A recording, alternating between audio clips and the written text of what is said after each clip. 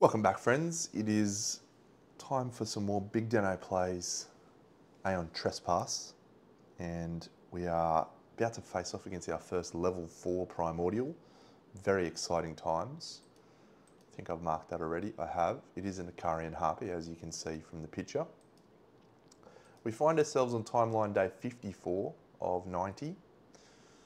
Um, we are about to loop back to where we placed Ariadne's anchor. And we've managed to successfully find the first piece of a chariot that we are hunting for. Uh, we found it right here. so that's exciting. Just got to find the second piece now.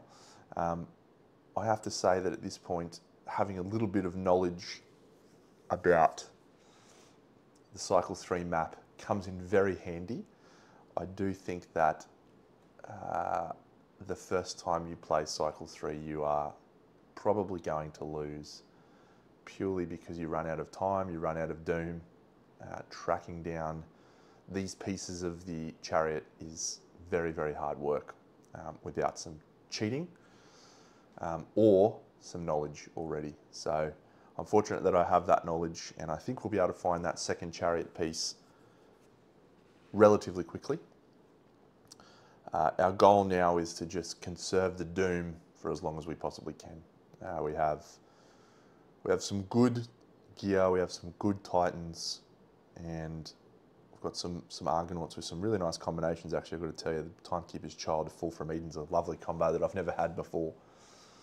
But before we get too ahead of ourselves, uh, we do have a timeline battle uh, here on day 54, another structural technology, and then hopefully we'll head onwards to find the next um, chariot piece after that. But let's go and have a look at our brave Argonauts. I've brought the Warkeeper in today um, to be, wield the probability blade.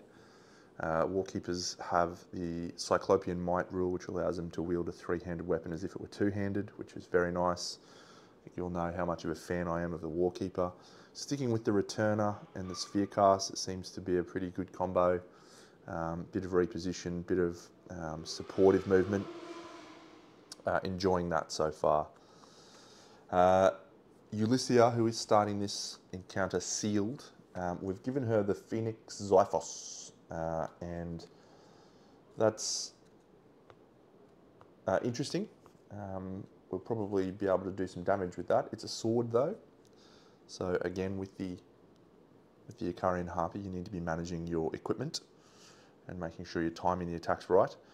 Unfortunately, I don't have uh, one, I'd really like one more piece of armor. I'm, I'm using this Exile's Garb because it has um, Inspire and yeah, it's going okay. uh, and finally, the Earthshaker and we're using the Earthshaker. This is a bit of a gamble because I want to try wielding the Shade Shield and the right Talon of Doom, which is a two-handed and a one-handed weapon, to allow me to leverage Quantum on the right Talon of Doom, um, and also then have the shield as well to attack. So, bit of a risk, but we'll see how it goes. Um, over here on the primordial sheet, so the level 4 Icarian Harpy has same rules as before with deep cut. So we take danger at the end of each Titan round based on the number of bleeding tokens we have. Uh, we also have a new rule which is called Devour Whole. Um, and unfortunately, Devour Whole means that if we end the um, basically the Titan turn or start of the primordial round uh, next to him, we get eaten, we get swallowed. So that's an unfortunate rule. We've got a lot of reflexes there uh, available to avoid that. It is actually relatively easy to avoid with your reflexes because you've got this um, end of primordial round trigger. So pretty much every piece of gear that we have uh, that we will want to use has a reposition. Um, and so we shouldn't, hopefully, end too close. But we do have a escalation of 1, 2 that we need to do. 1, 2.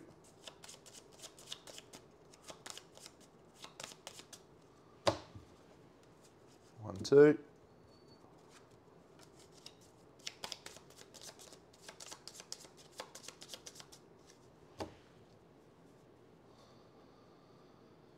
Um, and that's it. There's still only three tokens on the board, fortunately.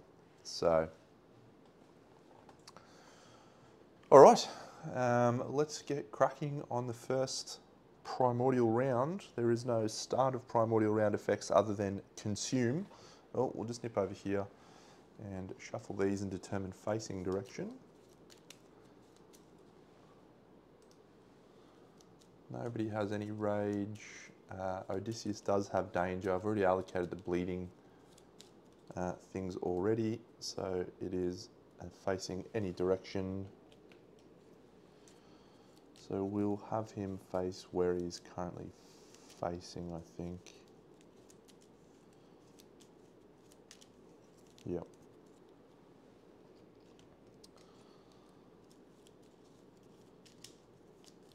Yeah, interesting, interesting fight this one, friends. I think if we can, if we can survive, we're still hitting on a nine, still only ten wounds. If we can survive a couple of rounds, we've, we've got enough damage capacity to get through his armor. Where it gets really tricky against this guy is when you lose a couple of titans and you don't have enough diversification in your weapon types to be able, able to manage that. So we'll see. We'll see if we can get it done. All right, let's get cracking. Uh, bleeding, bleeding, everything's good to go. Um, let's nip over here. A Talon Graze, non-bleeding Titan in sight. Well, the only non-bleeding Titan that we have, unfortunately, is the Returner. And it's a move and pushback two. We don't have anything to prevent the pushback. If you attack hits, raise your trauma level by one and resolve a trauma draw. Good time to get that one. So, uh, gonna move to here. We can't stop pushback two. One, two.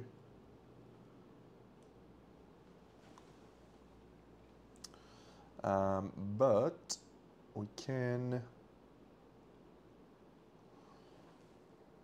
So, so we suffer bleeding one, so that goes there. If you attack hits, raise your trauma level by one. So three out of ten. We would need to roll three tens.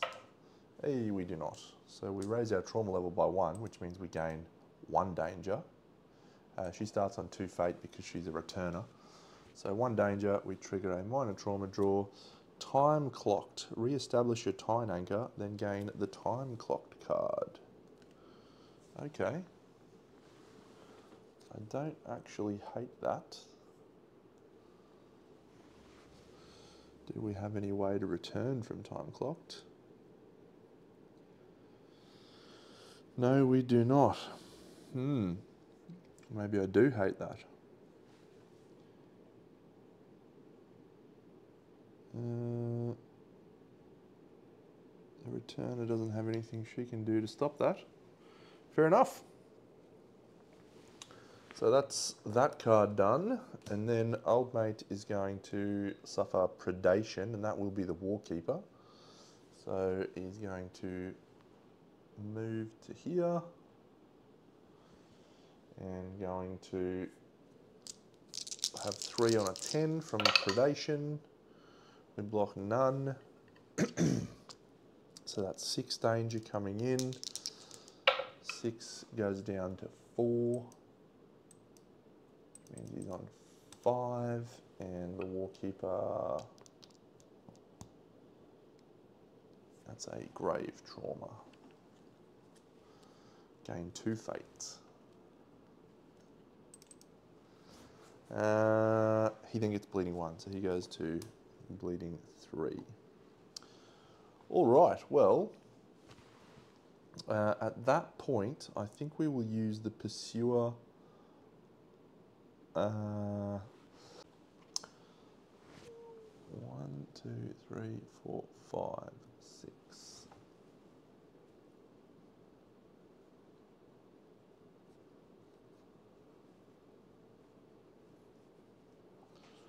wonder if we should use the advanced reflex to allow our team to get in range on the Warkeeper. Yep. Warkeeper's going to use an advanced reflex to move 1, 2 to there. So this guy would have had to come to there. Yep. That's better. Cool. All right. So Warkeeper done.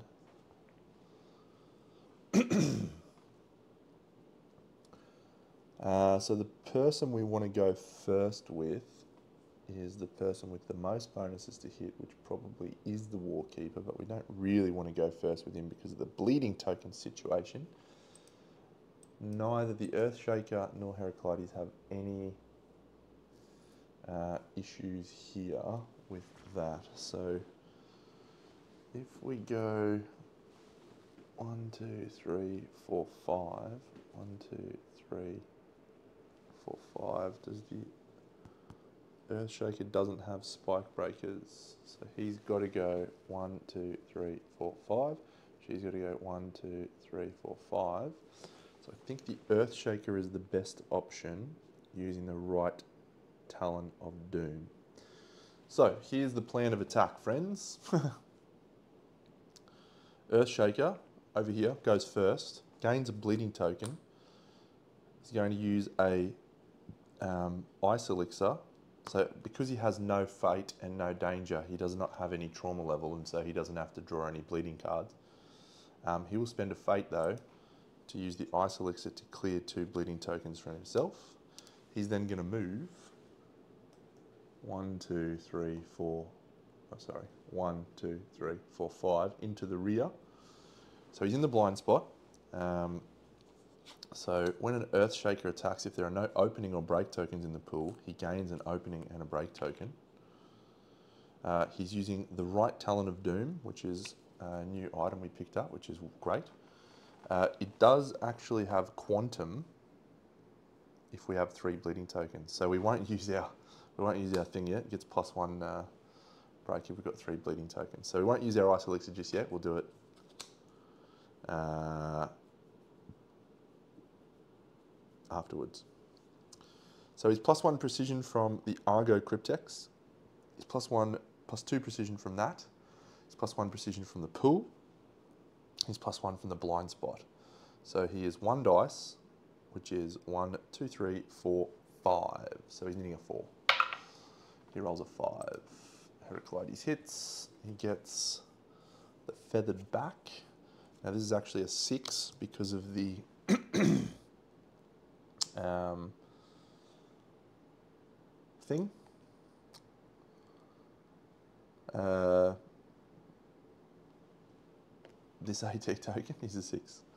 Now we have quantum, so we can treat our weapon as anything we want right now. Anything we want. Any way you want it, that's the way you need it.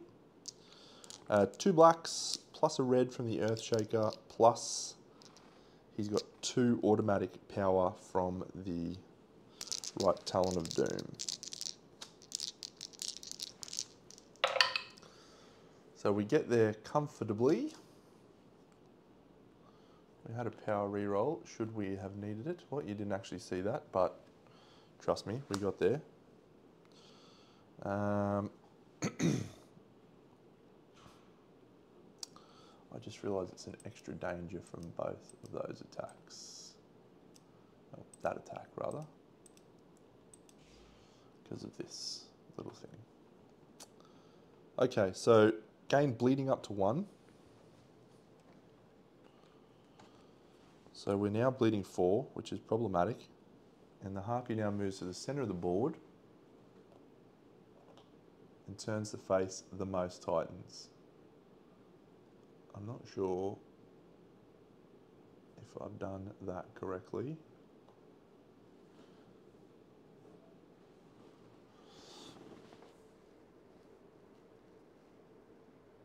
No, so he is going to suffer unavoidable knockback from here. One, two, three, four, five for unavoidable knockback, is it? Yes, however, we will attempt to uh, No, we don't have that. I was going to say we'll attempt to tumble. No tumble. We could suffer time clocked instead. If we do that, we're not going to be able to do much about our bleeding. To yeah, I suppose we can just arrive from thingy next turn. Yeah. So we suffer crash, we suffer a danger, we go to four bleeding tokens. We'll then use our four from Eden to suffer time clocked instead of knockdown. So he's going to be time clocked and sit from there. Should have tried to prime the cannon. Failed to prime the cannon. Great. and I will um, I will remove bleeding tokens from Ulyssia at this point. Yep, she will remove two bleeding tokens using the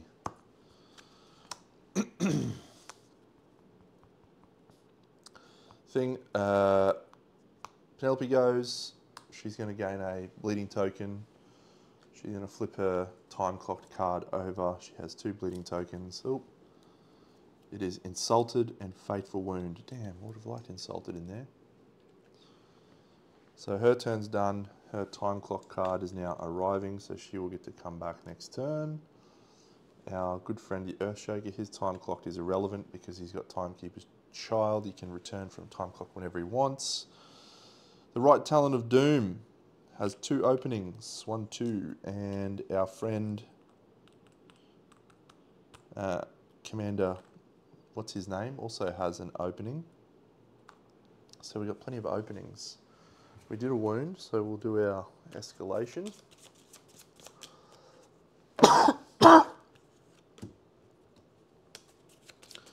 and with quantum, we get to decide what weapon trait we want that to have. What weapon trait do we want that to have, I wonder?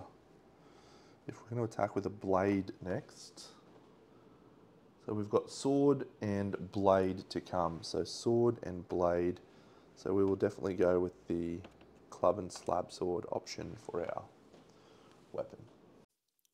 So he's done. She's done. We've got these two to go.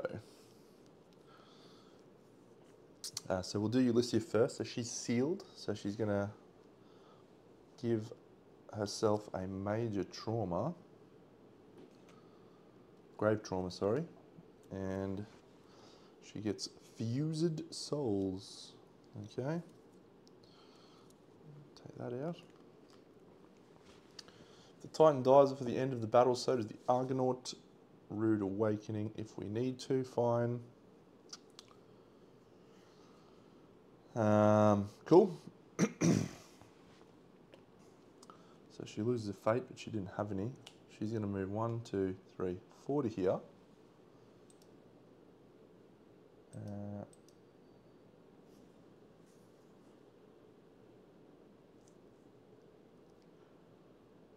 she has no bleeding tokens. She is going to make an attack with the Phenoxyphos, Phoenix Xiphos. There's plenty of openings in the pool. She is once again in the rear. Oh know. he turned to face the most Titans, so he probably would have been like that. No. Uh, actually, yeah, he probably would stay like that because there's only two Titans on the board. Cool, we'll take the rear. A 9 and a 1. Gain a fate to reroll the 1. Does the Phoenix Xiphos have anything? Power reroll 1. Ooh, two hits.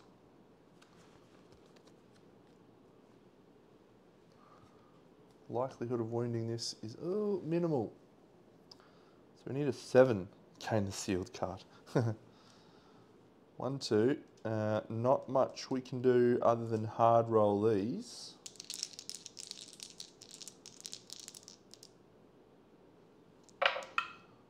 Oh shit, we've given it a lash. That is five from these two. We do have an automatic power reroll from the Phoenix Xiphos. Come on, Phoenix Xiphos. No, how dare you. Man, I wish I had some break tokens in the pool. Okay. Um, unfortunately, we gain the sealed condition card. which we just had. But we will now vault. Boo. Clear two bleeding tokens from him. Boo. Um, we will inspire no one. We will reposition two. We don't need to. Actually, we do need to. One, two.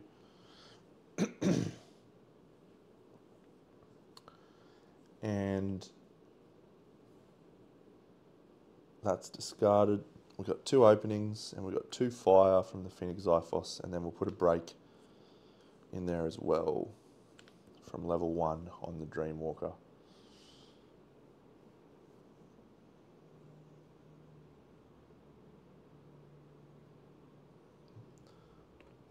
Over to our Warkeeper friend.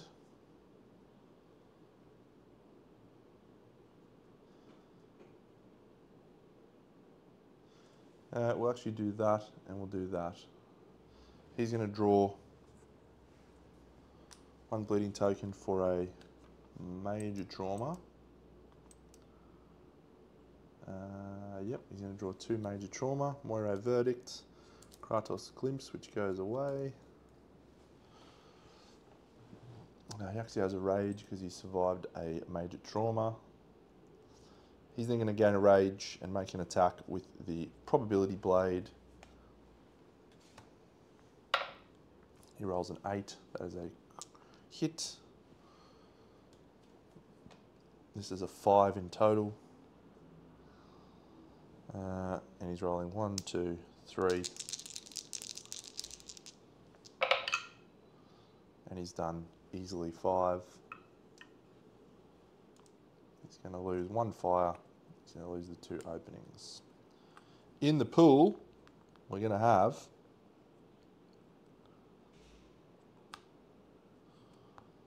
uh, two breaks from his level one, two openings, and two hope, and another opening. So that's much tastier looking. So with two wounds down, that was a blade. Wasn't it? Probability blade, yep. So that goes there. We have another level two going in.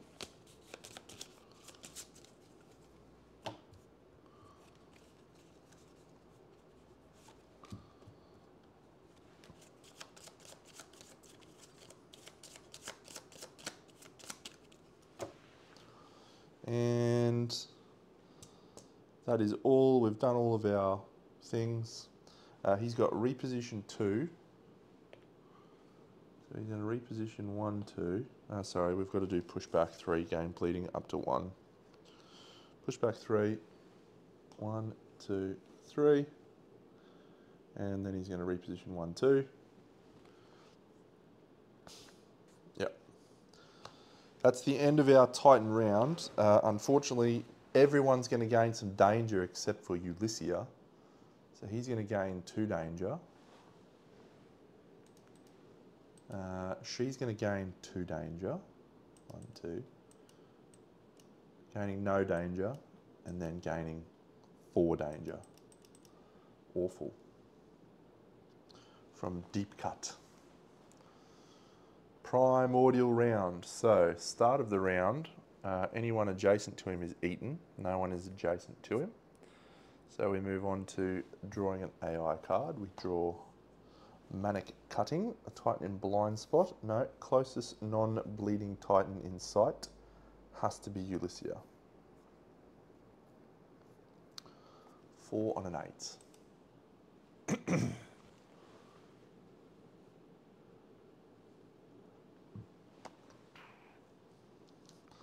So she takes it down to a 7 because of the Exile's Garb.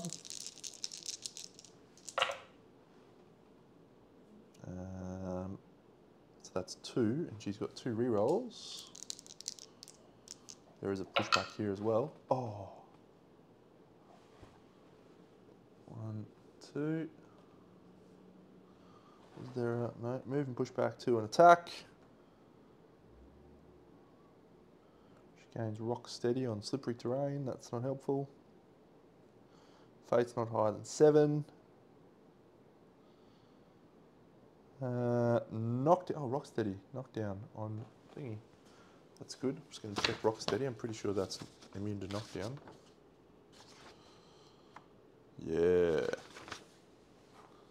Cool.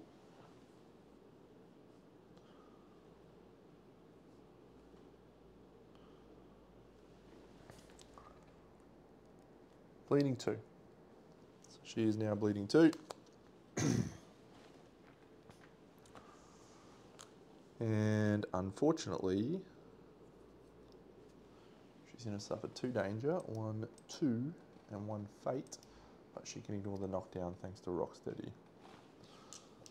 Would have been awesome if she missed all of the hits. He's then going to predation. He's going to move to here.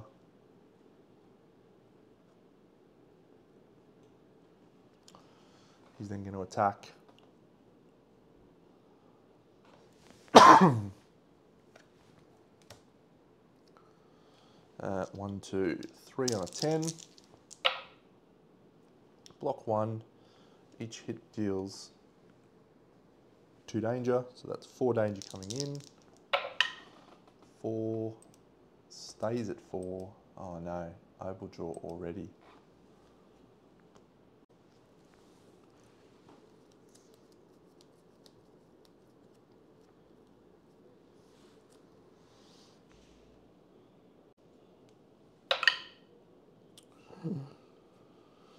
Whew. I should gain an extra one because he survived an opal draw. And he's in real trouble. he's in more trouble than the early settlers.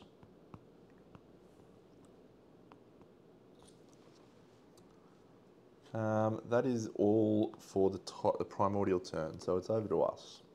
Okay. Everyone is still bleeding. This is an unfamiliar position for us. The Earthshaker has a bleeding limit of, however, he is not going to have any luck whatsoever. So we should use him to clear Ulysses' bleeding. All right, all right, all right, all right. We're going to start with the Earthshaker. Going to arrive from time clocked. What's his current danger situation? It's five. So he gains a bleeding token. He goes to five. He has a bleeding limit of five.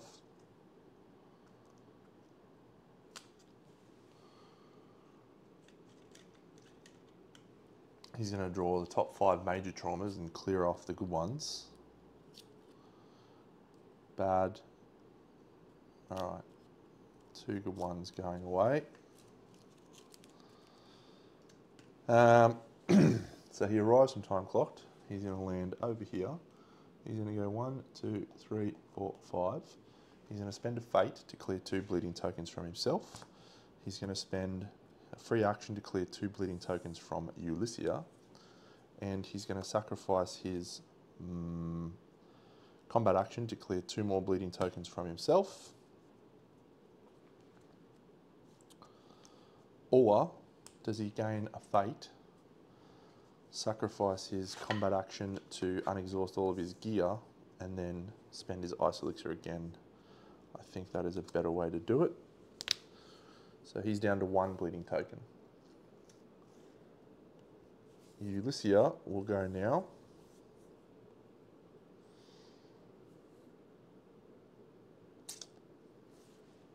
What's Penelope's?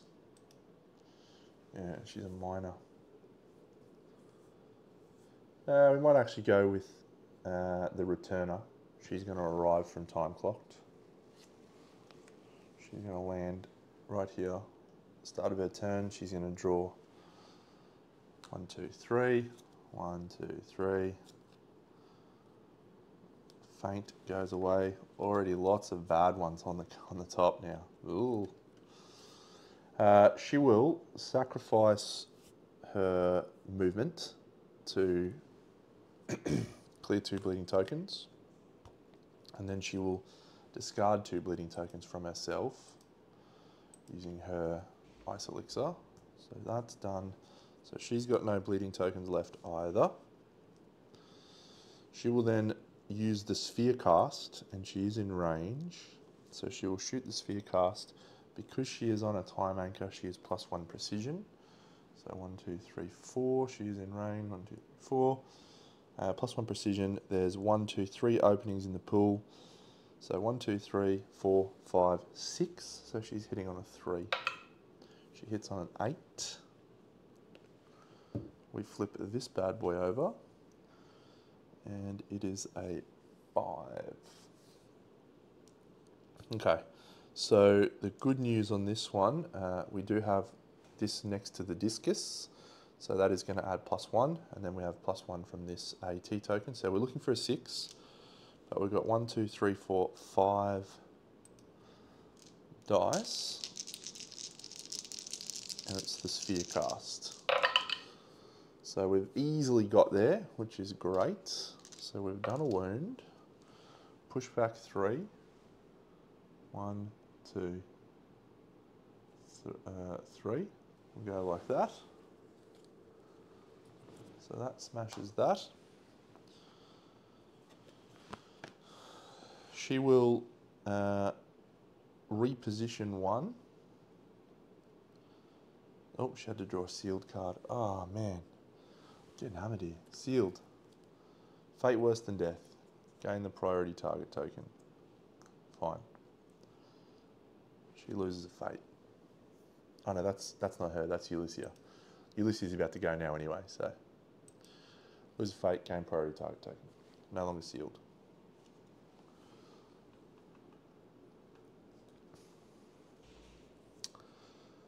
Okay. She's repositioned one. She's done. We build the pool. She's got her one keeper, so we'll keep an, a break in the pool. And then the sphere cast, no, no, we'll keep an opening in the pool, I should say. and then the sphere cast, let's just put one, two, three fire in the pool. Perfect. One, two, three, fire.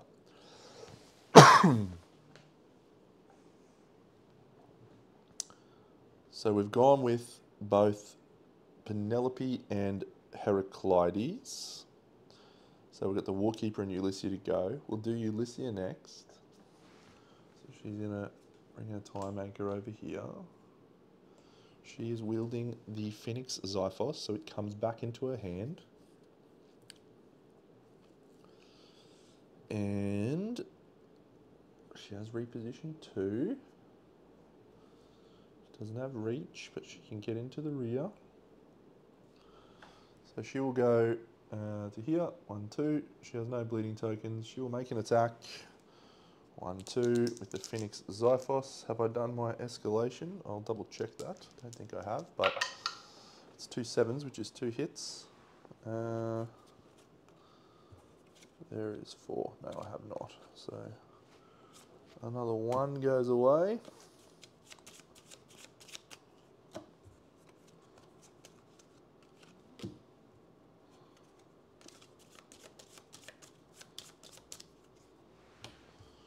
Under the twos already. Seven. Mm. So I think we've got spiral on this. Yeah, we do have two spirals. So I think we're going to spiral in and try and get a crit. See if we can bypass that signature. Um, so we're hitting on plus three, plus four, plus five. So we're hitting on fours. Maybe we just spiral a crit. Um, and rage. I think we'll just spiral the crit. So that's a seven. It's a risk, but yeah, it's a six. So no good. Um, so we are going to suffer a signature here. It's a shame.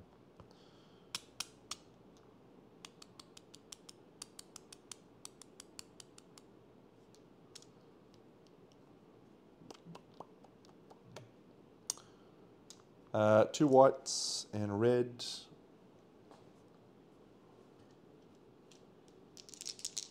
And she's got a power reroll one for free. Uh, one, two, three, four, five. Uh, this is a uh, sword, so we are looking for nine. Is that right? One from being adjacent to that. That should be here. And two for that, so we need a nine. Uh, one, two, three, four, five, six, seven, eight. So we need to re-roll that and get a hit. That's good. One, two, three, four, five, six, seven, eight, nine. We have three fire tokens in the pool. That's a wound at least. It's our fourth wound. So we are going to suffer the signature, but let's do all of this shebang.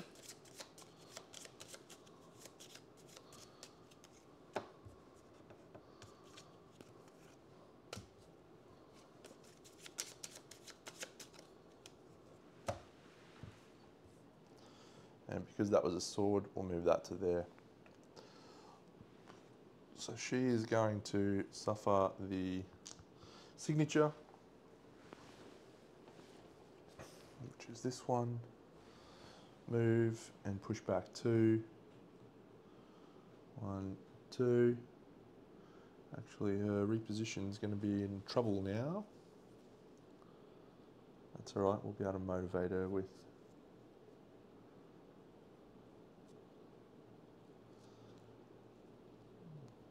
someone. Oh, knock back three. That'll be fine. Um,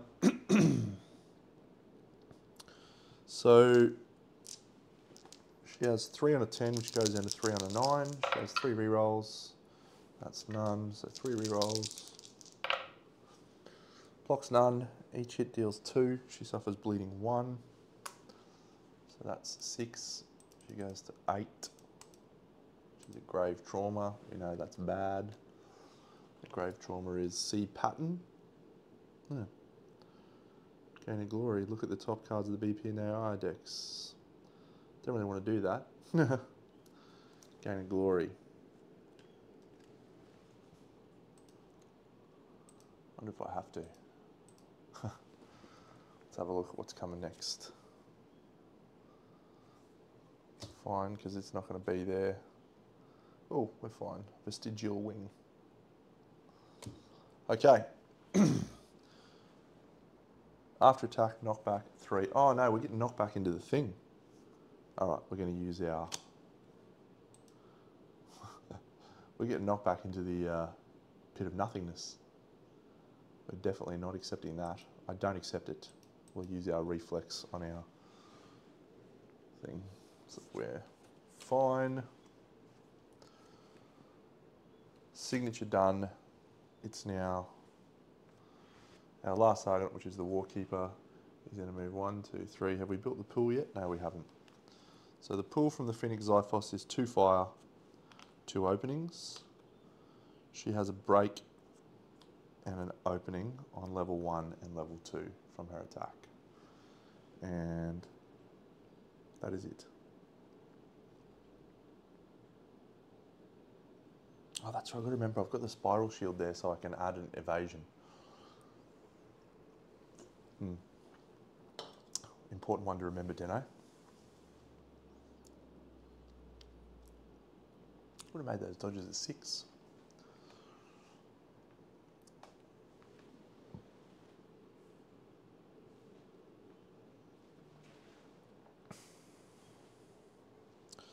Warkeeper moves into the back with the probability blade into the rear. Um, we know this is going to be another nine. Wonder if we should, yeah, instead of an opening, we'll just go double break. So we've got two fire, two break, so four in the pool. Um, probability blade hits on a plus seven, so we're hitting on twos from our, oh, rage five already. Wonderful. It's an eight. Do we want to spiral? Probably no need to spiral. We're hitting on twos though, so we're a one in ten of getting a crit. so I think we should crit. Um, I forgot that he's about to add three bleeding tokens. So, boo. Uh, I haven't used my. I haven't used my thing this turn. Yeah, I will cannon off two of them. So it'll go to two, and then just draw the top two grave trauma. Break the wheel, boo. Death's door, boo. Spiraling, four, still a hit. Lose a fate. Not a crit. Would have liked a crit. Um, two whites, two reds from the Warkeeper. Lots of power rerolls, lots of fun stuff to do. Don't need any of it, I don't think. One, two, three, four, five, six, seven, eight, nine. It's enough. It's another three popped in here.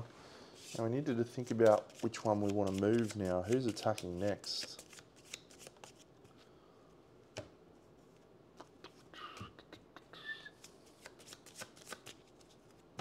I don't know who's attacking next.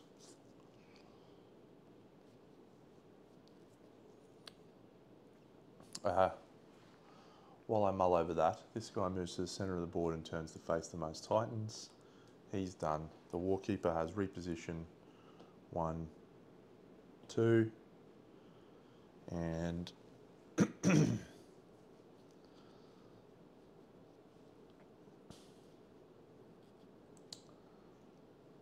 there's definitely two openings and there's definitely two hope.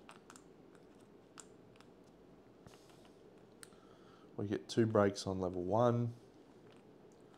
We get an opening on level two. Pushback, no. Opening on five. so given that we've got opening heavy, we'll probably go with the Shade Shield on the Earth Shaker, which is a shield. So I think we'll move this one to here. The one that was there. So that opens up the, the discus shield potentially. Um, it's a reasonable turn. Five wounds down. One, two, three, four, five.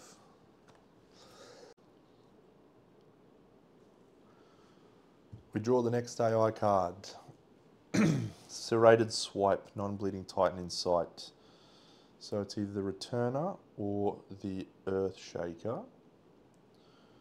Um, so it's either of those. There's no priority target there, so we get to choose move and push back two. We will go the earth shaker. Ah, no, sorry, I lie. Uh, the Earth Shaker is bleeding. He's got one. She's got one. She's got one, so it has to be the returner. Uh, great. So move and push back and attack. Push back. One, two. She doesn't have anything to reduce pushbacks. No. Um, it's all the way down here. You can't see there. He's here. Bleeding two. Wonderful. Just when we were getting a hold of our bleeding situation. If the attack hits, which is four and a nine,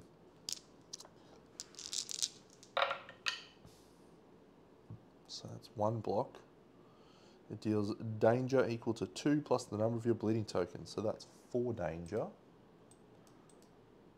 One, two, and gain two fate three, four, but she does have the Siren Cataphract armor.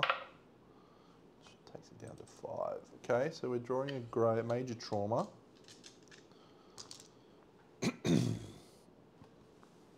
we know it's not a positive one. oh, gain two fates. One, two. And after surviving a major or grave trauma, lose a fate. Thank you, Penelope. And then knockdown, which we can't do anything about. So she's knocked down. Uh, we could use the Pursuer Ultimatum actually, which would stop the knockdown.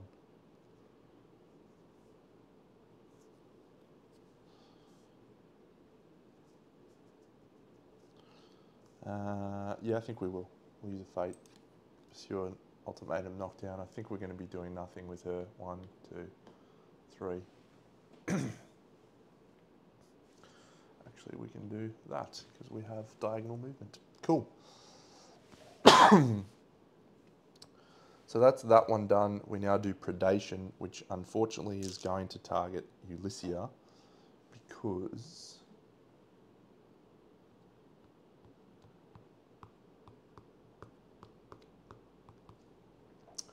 uh, and so we will spend a thing with Odysseus to use the Sun Guard for advanced reflex. One, two.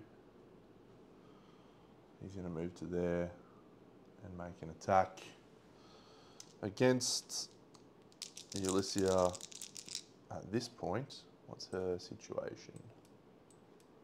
She'll spend a fate to dodge. This is 3 on a 10, so it goes into 3 on a 9, goes down to 3 on an 8 with 3 rerolls. Course, reroll a crit evade. no. Damn. Uh, so she just suffers one danger. Well, that's good, I suppose.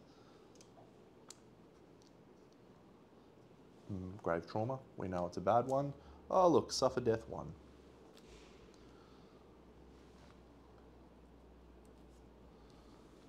wonder if we should have. Uh, yeah, we'll actually use our um, possibility matrix to put that on the bottom because that one just kills us. I can't do anything about it. So instead, we get Godly Resolve. You may discard all condition cards, condition tokens, and ambrosia tokens. We will do that absolutely. Condition cards is also fate worse than death. Nice and the bleeding. that probably changes what we're going to do here actually. Uh, and the ambrosia. Good time to draw godly resolve and good time to use that ability. That's it. Five wounds down. We should be able to do it this turn if we are fortunate. So the Earthshaker, I think, is still our best play for first. No one's died. Can't get a crit chance. He's going to gain a bleeding token, which is going to give him quantum. Mmm. Mmm. What do we got on top at two?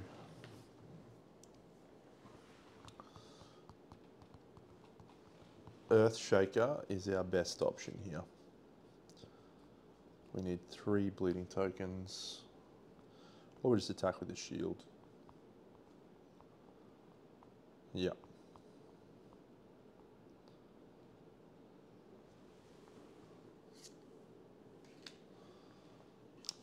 Shield in the back is our best play.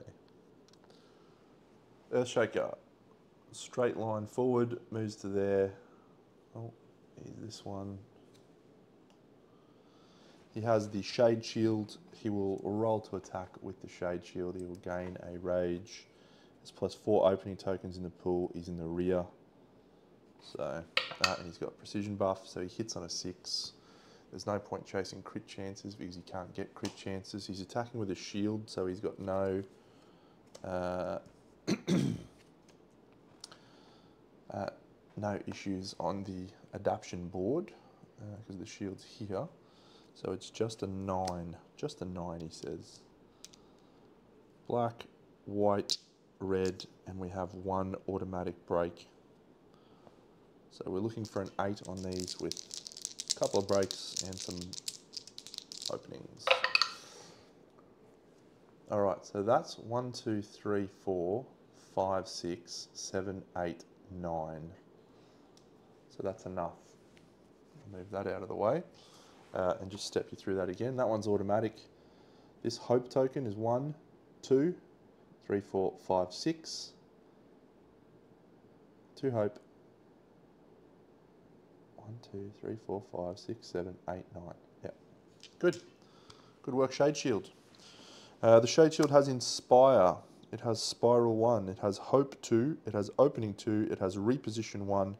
It has Succor. So think he's going to get knocked down because he gets bleeding up to 2.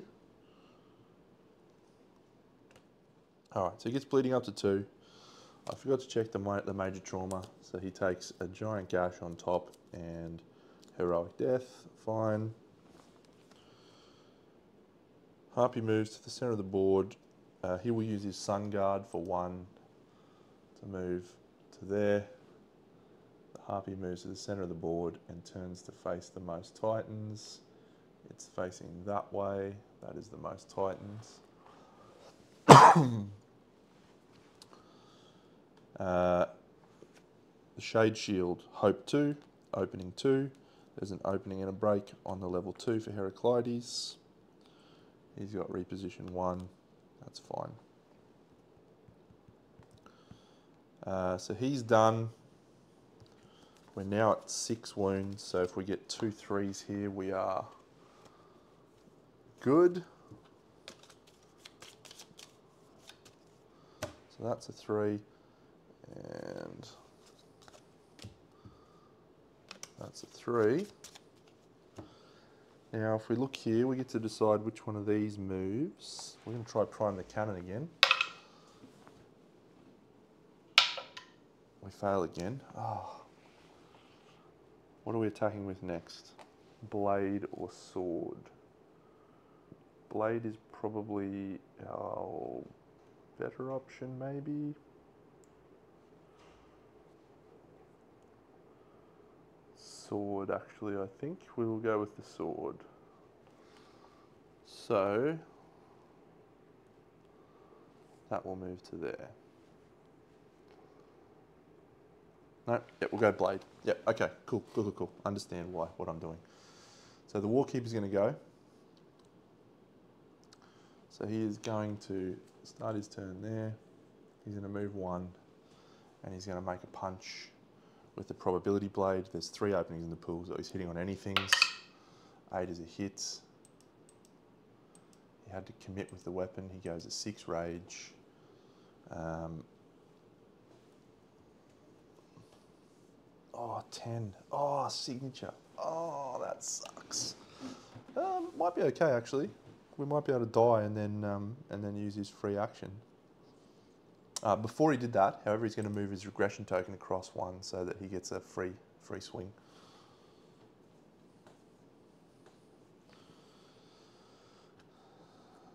Unfortunately, he's not going to be able to do anything with his free swing because he doesn't get a bonus attack. It doesn't, yeah. Bummer. All right, well, one, two, three, four, two openings and a single break. It has clutch as well, which is nice This is going to be tricky. Uh, one, two, three, four, five, six, seven, eight, nine. If we power re-roll this one and get one, we are through. We've got a wound, which is great. So that's a three. So unfortunately over here, this uh, this is another three coming in. This goes on the bottom. We lose a 1 from this one.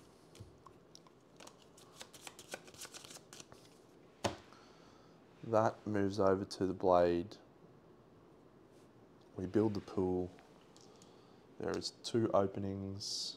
One, two. There is two hope. There is two break. There is another opening. There is another opening. There is another break.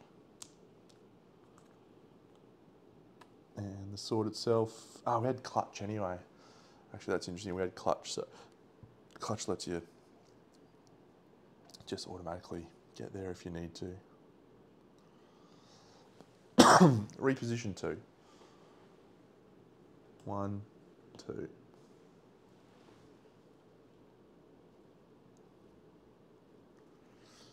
Um,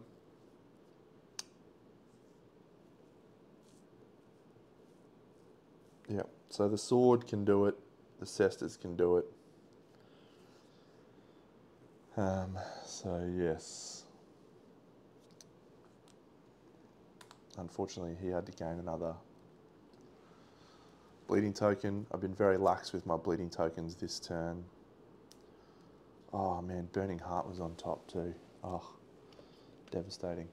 Anyway, uh, he's going to get pummeled by the. Uh, he won't move because he's just going to get pushed back to there. He's getting pummeled by that. I think it's just going to be an oval draw. I don't think we're going to be able to avoid this.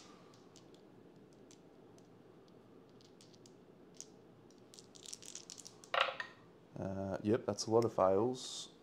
Uh, it is six danger coming in. That goes into five, so that's 14, but we'll spend our cast off so we don't have to put thing in. It's just an able draw.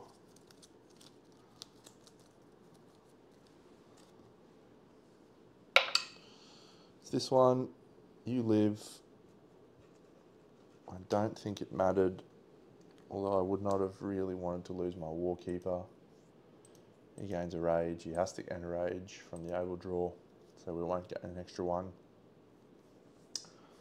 All comes down to either the returner or Ulyssia. I think we will go Ulyssia.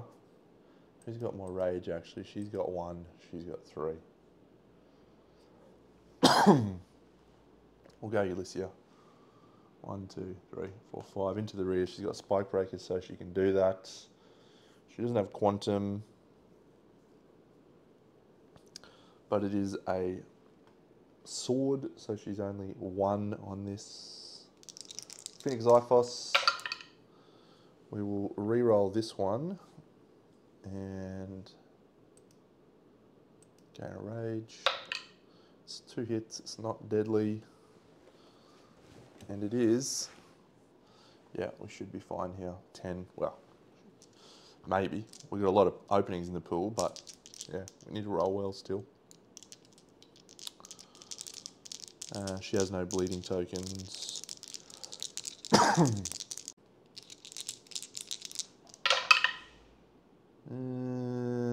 one, two, three, four, five, six, seven, eight, nine, ten. Three breaks. Two hope. It's enough. Sit down, you little dickhead. Uh, yeah. Losing no Titans there is, is lucky, but I'll take it. We definitely should have been gaining some danger. I forgot a lot of rules in that one. I feel like I'm a bit sloppy there.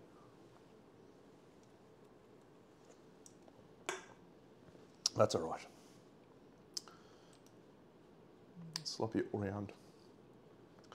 It's 12 ambrosia to start, just from fighting the level 4.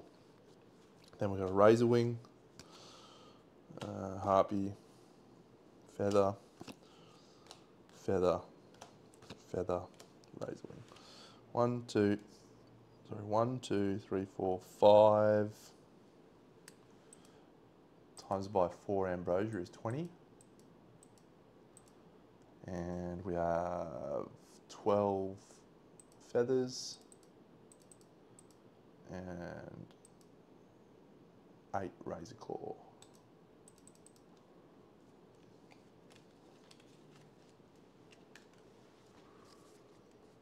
Lots of resources to play with. Didn't get to prime the cannon once. Awful. Over the timeline, uh, we will reset Argonaut.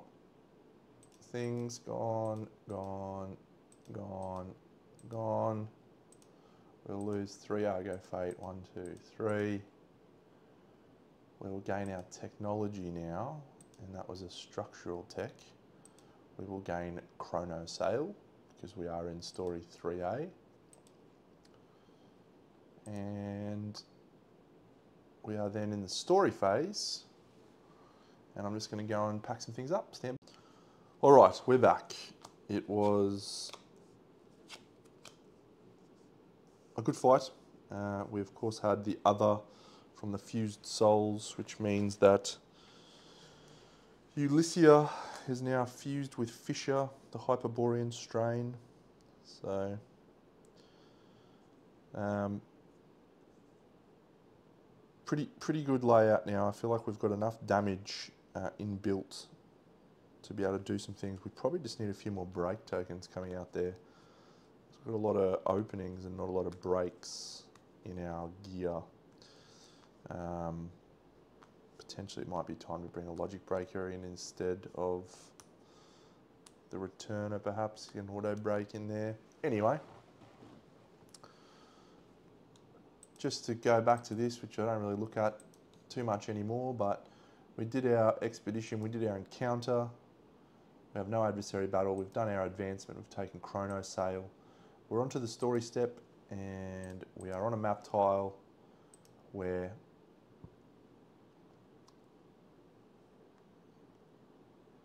uh, we have a chariot piece and that means we see story 108.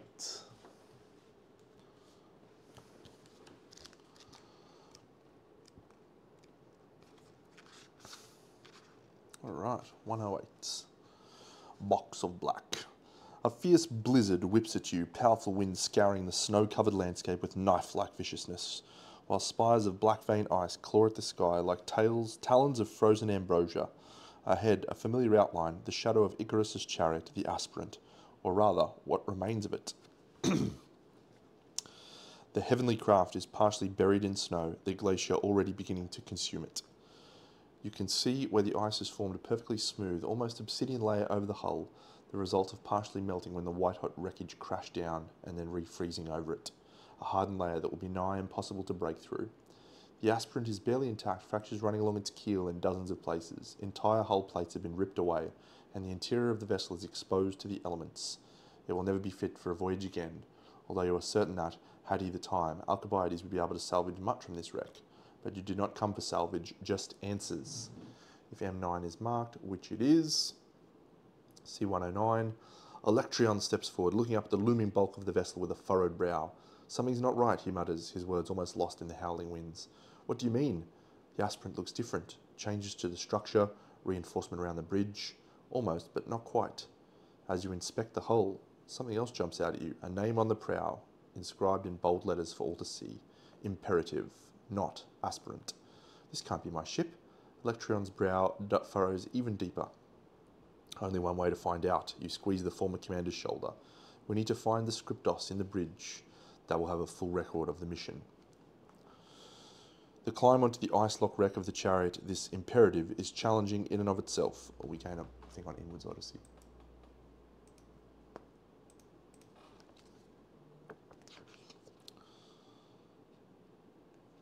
Thankfully, over the years you've developed gear to scale primordials. What's an unmoving object compared to that? There, through a crack in the hull, you'll work your way up to the bridge, backtracking several times due to corridors being blocked by rubble and ice. Finally, you enter the ruined command post, eerily silent. Scorch marks across the surfaces, scraps of clothing and burned flesh clinging to its now cold metal. Utter desolation. There is little left for you to salvage, but eventually you do manage to find a cubic device beneath the remnants of the helm, the Scriptos, the exterior is marred by burn marks, but it's intact. You need to bring it back to the Argo for a full examination, but you are anxious and cannot wait that long, so you place it on a flat surface and activate it with a brush of your palm. An image begins to project itself onto the nearest wall. The interior of the bridge, the crew frantically rushing about, trying to attend to their tasks. Beyond the viewport, the sun's domain, a shadow growing before the ship, as if meaning to intercept it. The larger it becomes, the more frenzied the activity on the bridge becomes. At there, the heart of the chaos, Icarus stands, watching the forward viewport in stoic silence. Stoic silence. He ignores the increasingly despairing pleas of the crew, the terror growing in them by the moment. Flames are already beginning to consume parts of the ship, and the rattling is almost too much for it to bear, even for you. Icarus steps forward, closer to the viewport. Glimmering feathers of his cloak ripple, each one host to an unblinking eye. You don't remember that. It has been modified. The cloak is oddly shaped, as giving the impression of folded wings. Icarus raises his arms out to either side. There is a long moment of motionless, motionlessness as he tilts his head back, his crew calling to him in confusion and consternation. Then, A violent explosion rips through the bridge. The viewport is shattered, and blinding sunlight fills the room. The screaming crew members are all incinerated in an instant until all that remains is Icarus standing in the sun's rays, his feathered cloak billowing behind him. No, it's unfolding, twisting and bending into wing like appendages, eerily lifelike. He pauses, looking back at the remnants of the ship and crew, and then leaps from the chariot out into empty space. The wings unfurl around him, and he powers even higher into the skies, heading straight for the shadowy shape of the Demesne. Dem- Domain? Dem- Demes? Demesne? Ice fills you. This was the final iteration of Icarus's mission, the one after yours, the one where he found the way to succeed. He needed everything you did for him, and then more than that, the ultimate sacrifice of his crew, his ship, everything he had worked so hard to create, to provide him with enough impetus to launch himself the final distance. And pitiless as it was, it had paid off. You follow the shape of Icarus as it is bathed in powerful beams of sunlight, not incinerated like the rest of his crew, but rather soaring, ascending, were it not for the price paid to achieve it, you might have described the fight, the sight as beautiful. Then Icarus's flee, having a rough day. Then Icarus freezes in midair, as if a butterfly caught in a spider's web. He hangs there for a long moment, transfixed in the sun's rays, before his body violently twitches. He twists and spins in place, his form warping and changing. The winged cloak melts, his body bloats, numerous tentacle appendages sprouting from smooth flesh. You watch in horror as the sun descendant is born, and all around him ice and snow begin to fall. Time itself twists and warps. In an incandescent flash, an explosion tears loose from him, the fledgling time front unleashed upon the world. O lad, Electron raises a hand to his mouth from horror in horror. He finally got his wish, you state grimly. He made it to the sun's domain and paid the price. And we sent him there. The former commander shudders. Me, you, the crew of the aspirant, we all fed his dream of ascending to the sun, of meeting his father's expectations, and now he's the source of all this. Perhaps you narrow your eyes looking at the imagery the Scriptos is showing you. It certainly seems like all the ice and chaotic energy that ravages Delphi flows from him. One Argonaut can reset their fate. Great. A chill fills you, matched only by the revulsion that clasps at your gut. It was not his failure, you realise, but his success that led to all of this. Icarus became the sun descendant, and it was your interference that allowed this to happen. The Twilight Age, the Time Front, the ice, the glaciers, and now threaten to consume all. Even the loop that trapped you here, it is all because of this one victorious mission.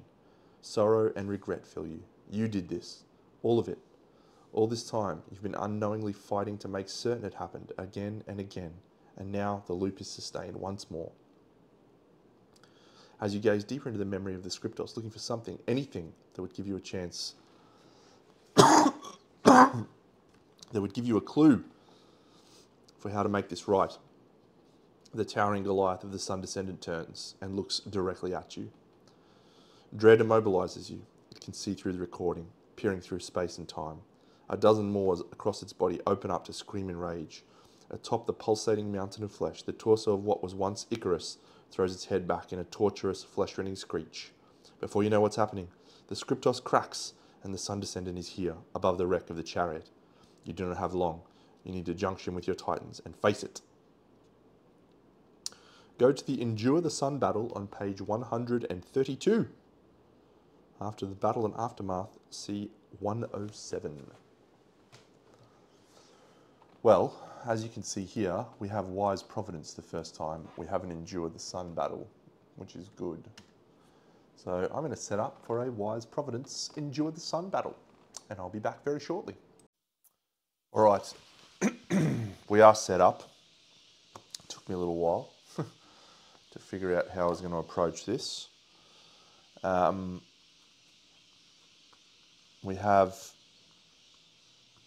changed up our layouts and I finally got enough resources in that advancement phase before we went to the story phase to build a horse skull pauldron. Um, so I'm comfortable with where our armour is at. We have some fate safe equipment into this fight so we are going to get some second chances which is good. And overall, I think we're about as well placed as we can be. Now, the interesting thing about this um, fight, given that we have Wise Providence, is, we'll just go to market and the evolution track. Uh, we will likely uh, not suffer any damage in the first turn if we do things properly. So we need to survive 10 rounds.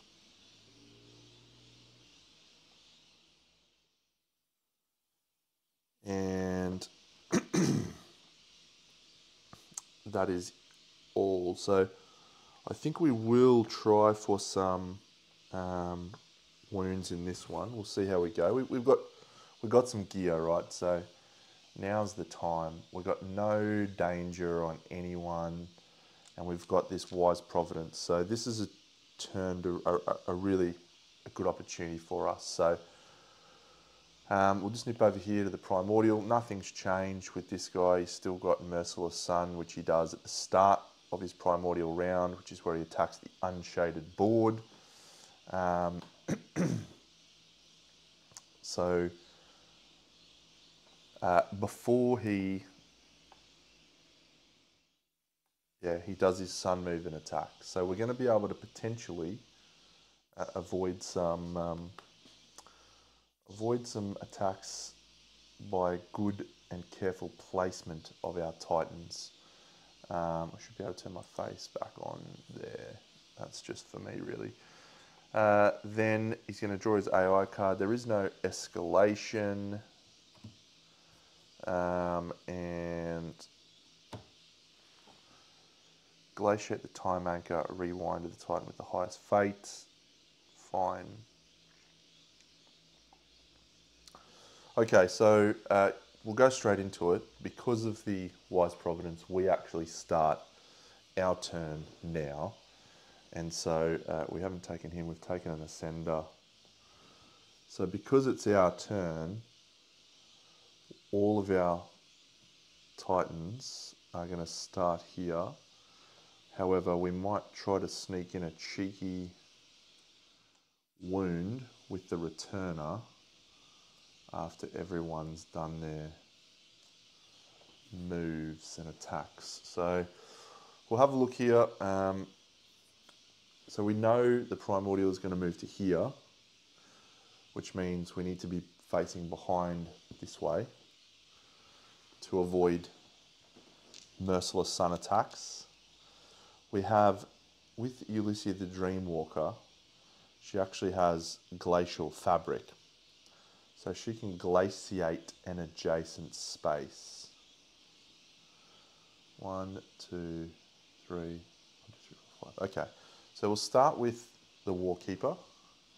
One, two, three, four, five, moving to there. And his things there. We will then glaciate an uh, adjacent space with Ulyssia. And that will cost her a fate.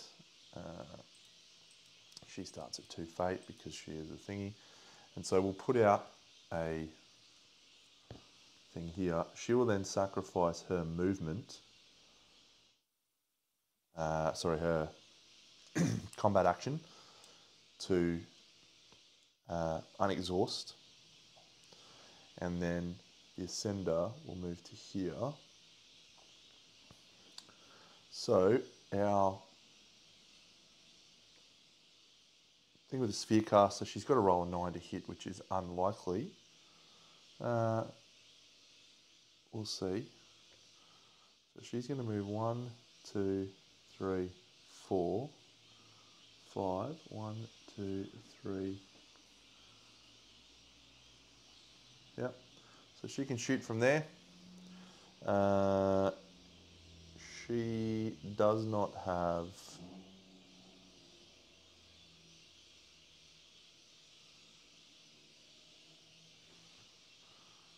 One, two, three, four, five.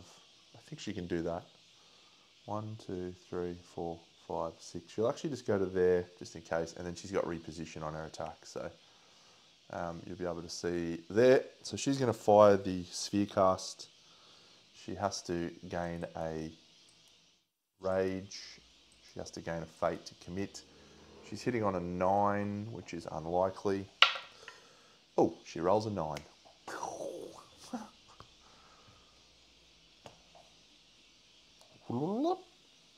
Wound, create a vantage point. Perform signature against the attacker. Um, it's a six. There's no AT bonuses, so we're just four reds plus her her red to begin with. One, two, three, four, five. Oh, she got we got a power reroll.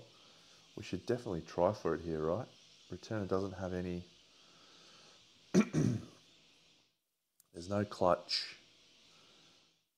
Do we want a fail trick? fail is a rewind, which means she's going to be in a shaded position anyway.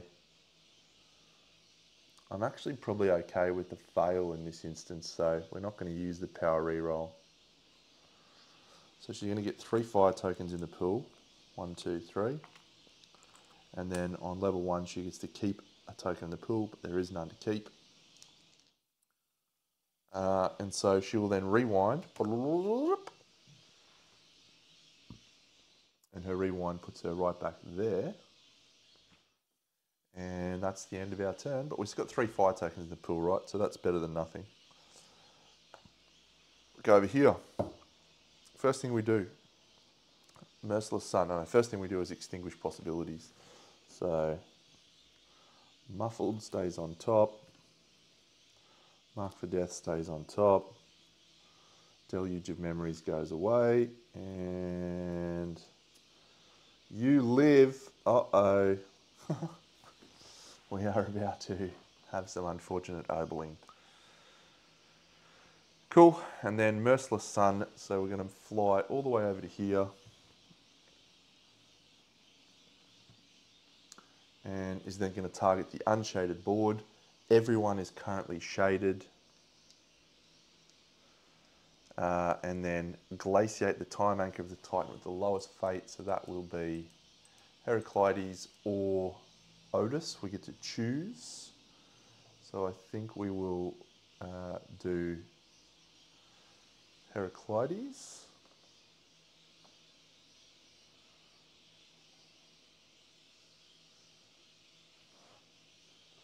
Um, we'll glaciate Otis Zeros, which will go to there, and he will rewind to there. I know it's it's rewind the Titan with the highest, uh, which is actually her. So she's already rewound. Good start. Good start. All right, now we draw his AI card, the chump.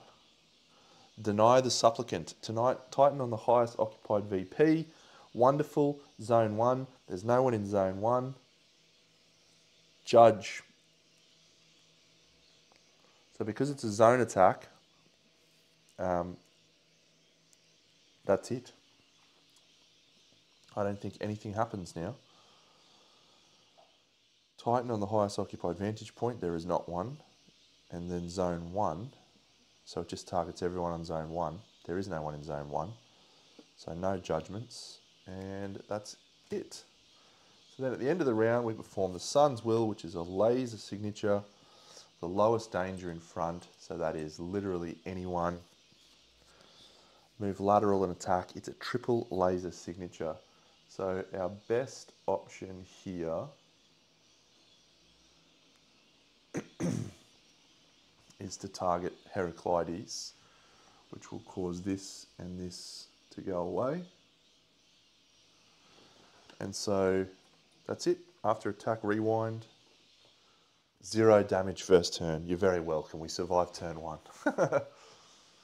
and that's the power of uh, Wise Providence in this battle. It's not getting wounds, it's, it's preventing damage. Okay.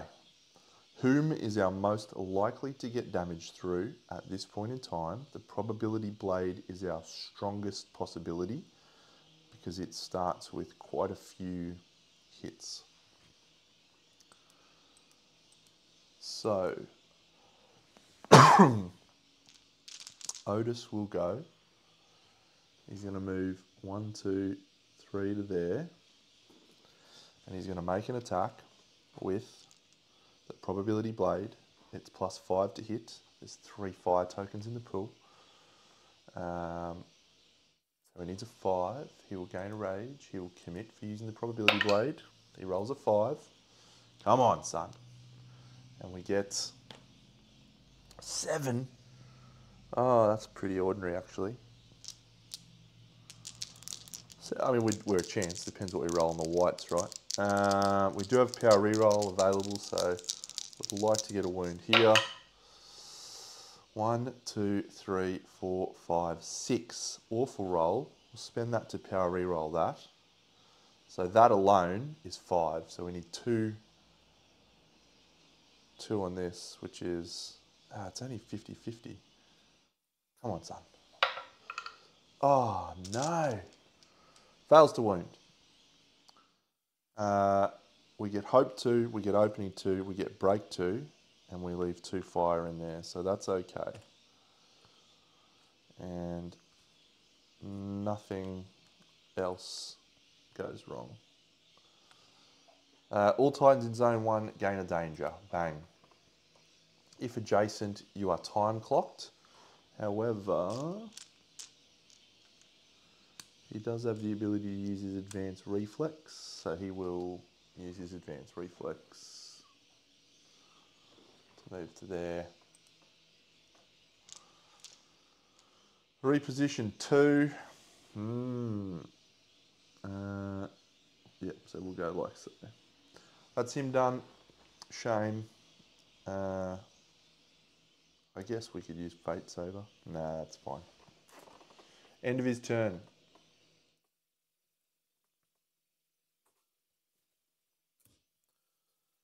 A lot of tokens in there now. So the Ascender with the Shade Shield is going to need sevens to hit, but it's likely to do a wound. The Returner is almost certain to do a wound. uh, we just need to put his thing back. Uh, or Ulyssia with the Phoenix Blade. Uh, Ulyssia, oh, this is going to be one of the only times I've ever been happy that I had this. I put the Glacial Fabric on Ulyssia. How good is that? She's going to be able to bypass and move through a Titan. It's a great day. One, two, three, four. She will move to there and she will glaciate an adjacent space maybe. Yep, she's going to glaciate an adjacent space and she's going to glaciate this one right here. Spending a fate. And then she's going to attack with her Phoenix Xiphos sword. Uh, she's hitting on one, two, three, four, five. So she's hitting on, on, she's got a precision from being a fused soul. So she's going to gain a rage and spend a fate to reroll that two into a five. So that's two hits. Uh, mouth feeler. Need a six, but we're two whites and a red, and we've got a lot more tokens in the pool. Uh, that is actually enough because uh, we've got to remember to move that. We have two hope in the pool. One, two, uh, three, four, and then we have two breaks, five, six. So we actually get there with just that bad roll. Hope, what a powerful, what a powerful supportive action it is.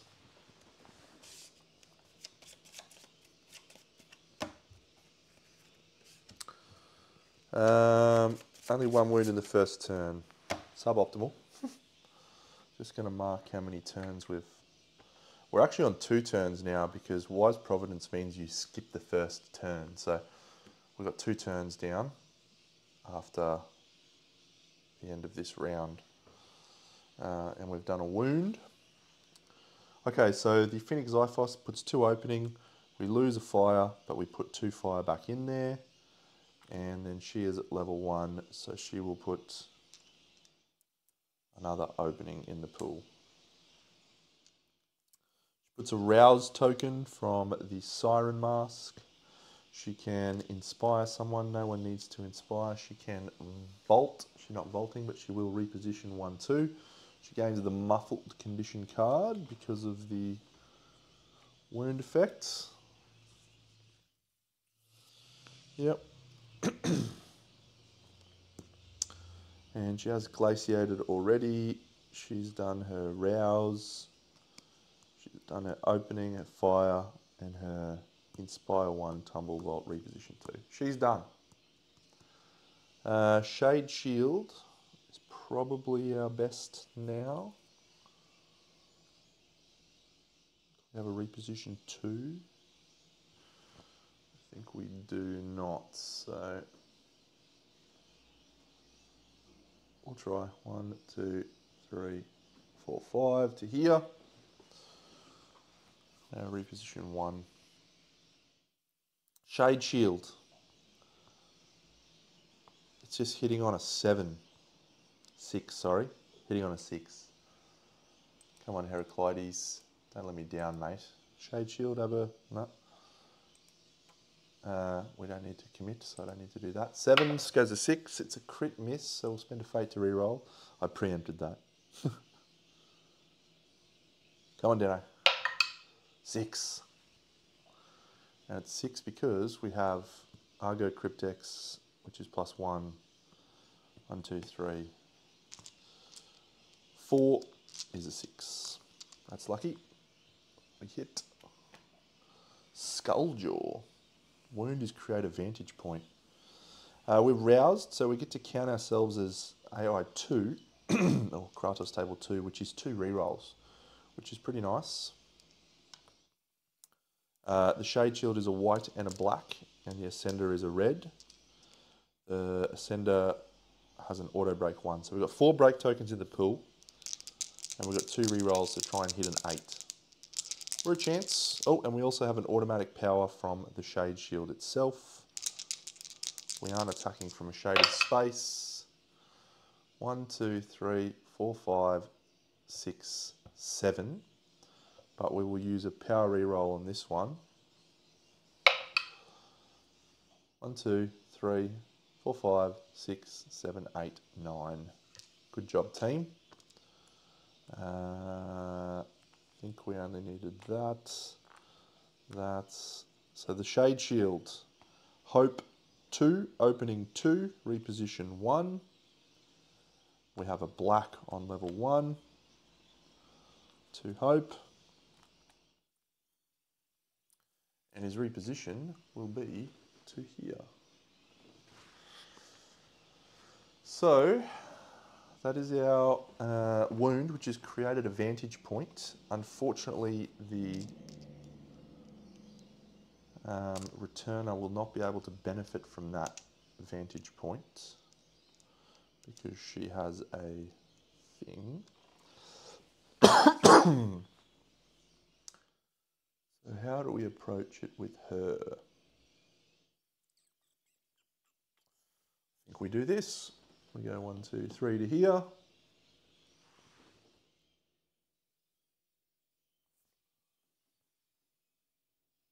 Go to there. Uh, I definitely need to do an escalation.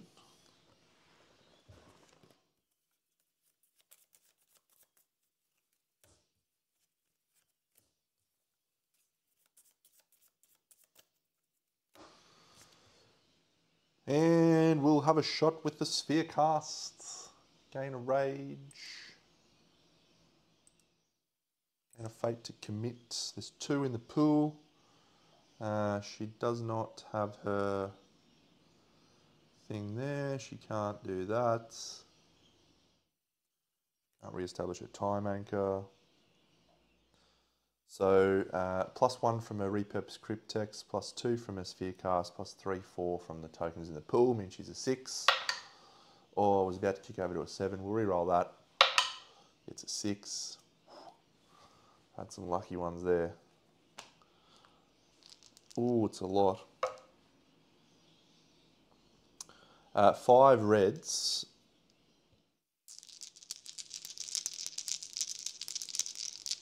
potentially be time clocked here, which wouldn't be too bad. Uh, one fire, two hope, one black in the pool. Remember to do that, Dano. Oh, it's a shit hot roll. Wow, we got it. One, two, three, four, five, six, seven, eight, nine, ten. Black. Does nothing, but we got there anyway. Wow. Rewind. She will rewind to here and she will move across with her reposition one from the sphere cast. Uh, in the pool, because she is on level two, she'll put a black, she'll keep an opening, and she'll add one, two, three fire into the pool. Someone else can motivate one. We don't need anyone else to motivate.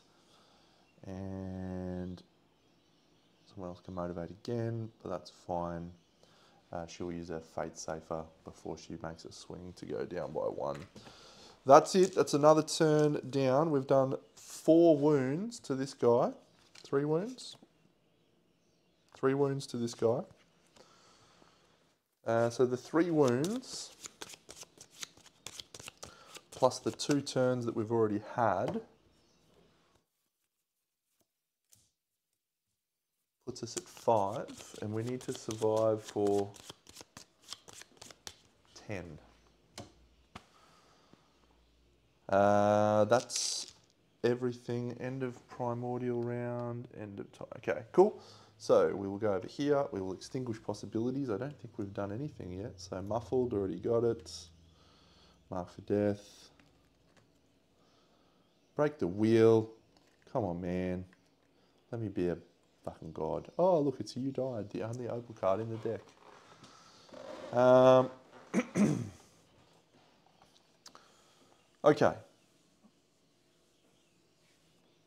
Over to here.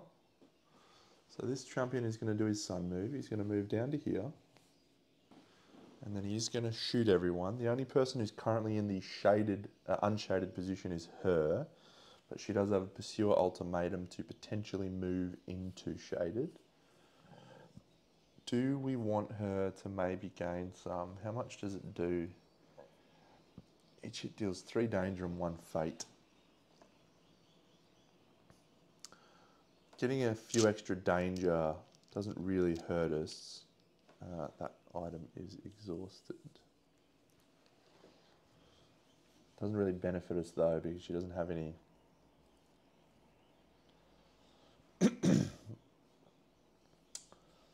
I think we will save her and spend a fate to use the Sewer Imperator Ultimatum to move to there. She's done. Uh, the sun move is done. Glaciate the time anchor of the Titan with the lowest fate. So that is Heraclides. So his time anchor gets glaciated. And we, we rewind the Titan with the highest fate, which is Penelope. All right, we move on to the AI card, and it is Prism of Helios. Target priority target. It is going to be Penelope, isn't it? Ah, oh, damn, she's going to get hit. All right, so we haven't done a lot of this in this fight so far, but we're going to glaciate C5.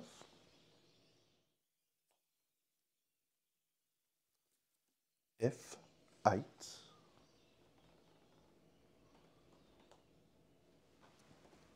And I12.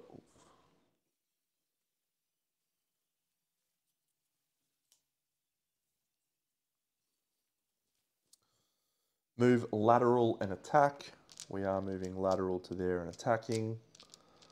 Burn. Each Titan hit raises their drama to 8 and draws an obol. Oh, she's going to die. That's actually interesting though because she's got cheat fate.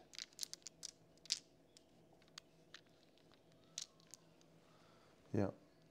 So I think we'll do that. Move lateral and attack. Can't do anything about it. Each Titan hit raises danger to 9.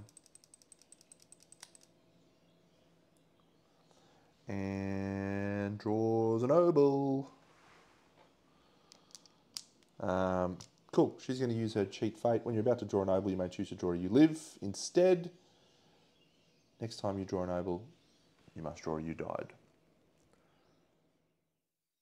After attack, rewind. She's already rewound. Prism of Helios done.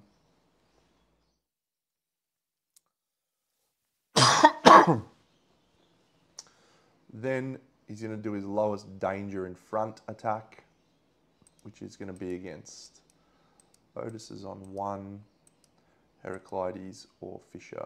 So we'll go on Fisher. So he's going to slide one, two to there to get in range of Fisher. Hit that, hit that, hit that. no one suffers any danger. We've finished our third turn and we've done three wounds. If we can do four wounds this turn, we're through. All right. I think it's unlikely that we're going to get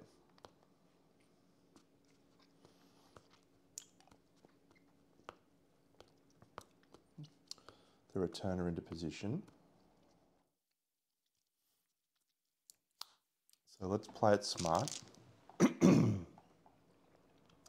She'll exhaust all of her gear. Use her fate safer.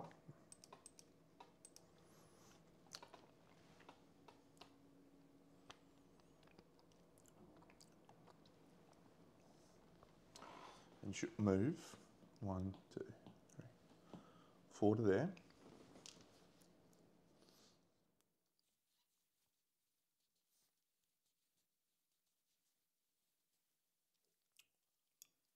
One, two, three, four to there. She'll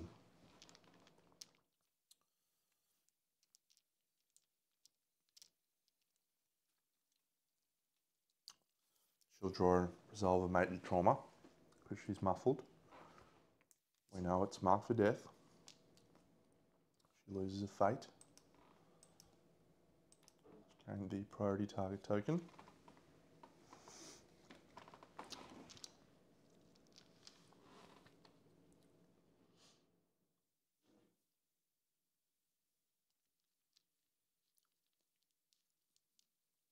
And that now leaves the Warkeeper and the Ascender, who are both in range. We have created a VP, yes? We have. So, the Shade Shield is not going to get any benefit from attacking from a... any additional benefit, I should say. The Warkeeper has Icarus Lot, gives it scale. I think scale is you just automatically climb a VP.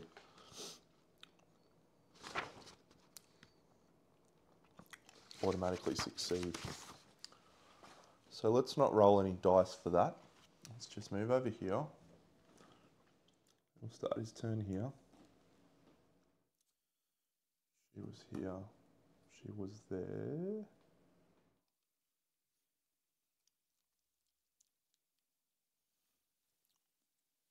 So he will just scale onto the VP. swing with the probability blade. And rage. No commit on the probability blade, no. He rolls a crit miss though, so we'll roll a one. Seven.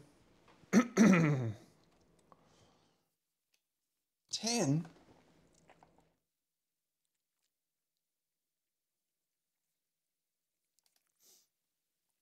One, two, three. Unlikely. Black token in the pool. Uh, because we're on the VP1, we do gain a single power.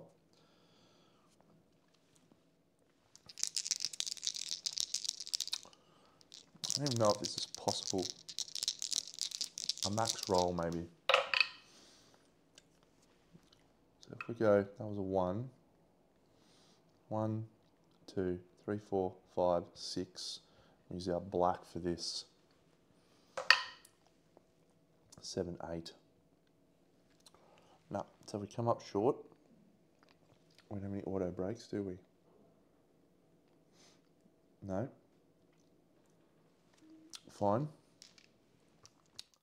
Instinct, all titans in zone two gain a danger. And if adjacent, gain time clocked. Unfortunately,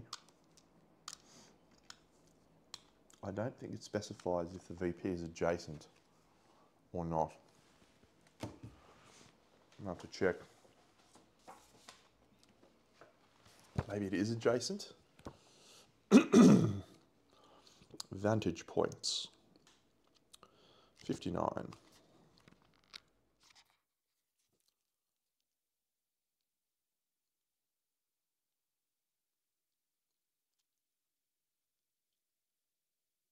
Ah. Ah. Titans on VPs are considered adjacent and in range 1 to the primordial, and 12 Titans adjacent to this primordial. Great. So, all Titans in zone 2 gain a danger, bang, and is, if adjacent, time clocked. He adjacent. I don't know if I spent a fate or not, but I'm just going to use that.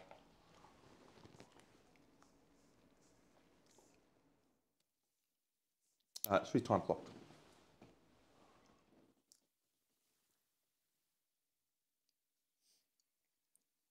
That's his turn. But we do get to build the pool. Two openings from our wonderful sword. To hope.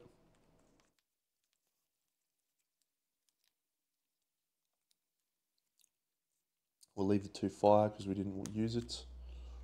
Two breaks on level one, and another opening on level two. And he's on level two.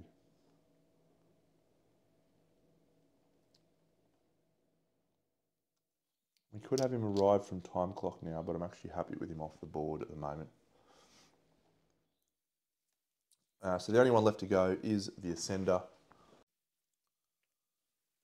One, two, three, four, five. He's going to try and climb. Uh, a one is definitely not a success. Uh, so he'll make an attack from where he is. Uh, he needs a one, two, three, six. That's a nine. Can't get crit chances with him anyway, but seven. Create a vantage point if he succeeds. He should succeed. He's rolling a white, a black, a red. He's got an auto break. He's got automatic power, and he's got 50,000 tokens. I think he's there already, but uh, one, two, three, four, five, six, seven, eight, nine. It's enough. That's our fourth wound. We create another vantage point. Um, so we'll build the pool. We have hope 2, opening 2, reposition 1. We have a black. And that's it at the moment. Black, hope 2, opening 2. Oh, and he's got Commander Electreon, so he adds another opening. Over here, it's another escalation.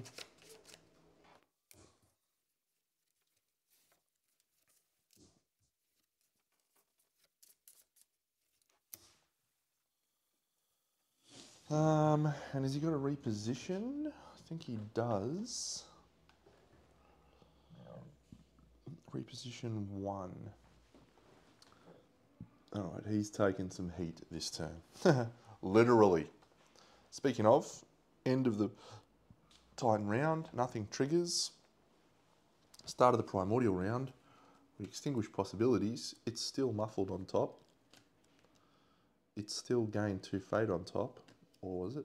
Awakening, man. You're an annoying game sometimes. Merciless Sun targets the unshaded board. This guy's going to whip over here. And he's going to hit just the Ascender. The Ascender's got no way to do anything about that. So he's just going to take a hit. It's three on a ten. One, two, three. One, two, three. Uh, oh, he re-established his time anchor there too.